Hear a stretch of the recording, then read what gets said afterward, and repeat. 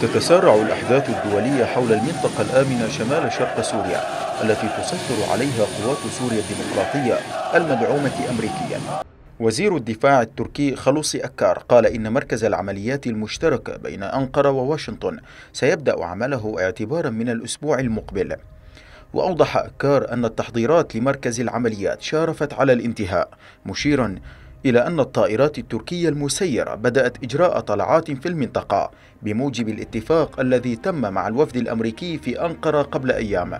من جانبه قال المبعوث الأممي إلى سوريا جيمس جيفري إن هناك خلافا بين الولايات المتحدة وتركيا حول وحدات حماية الشعب الكردية إذ تعتبرها تركيا منظمة إرهابية كونها تهدد الأمن القومي التركي بينما تختلف الرؤية بالنسبة لواشنطن التي تعتبرها مجرد مواطنين سوريين غير إرهابيين. وأكد جيفري أن الوحدات ستبتعد عن المناطق الحدودية مع تركيا عند إنشاء المنطقة الآمنة التي يتم العمل على إقامتها حالياً.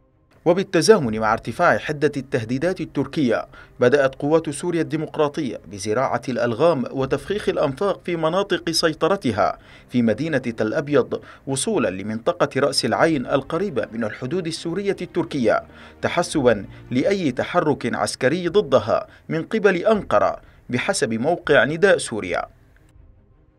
ملامح الخطوات الأخيرة تبدو واضحة على ما يبدو في الاتفاق التركي الأمريكي الأخير. فهل ستنجح أنقرة بإقامة المنطقة الآمنة التي اقترحتها مع بداية الحرب في سوريا؟ أم أن واشنطن ستستمر في مماطلتها بتنفيذ الاتفاق بين الجانبين؟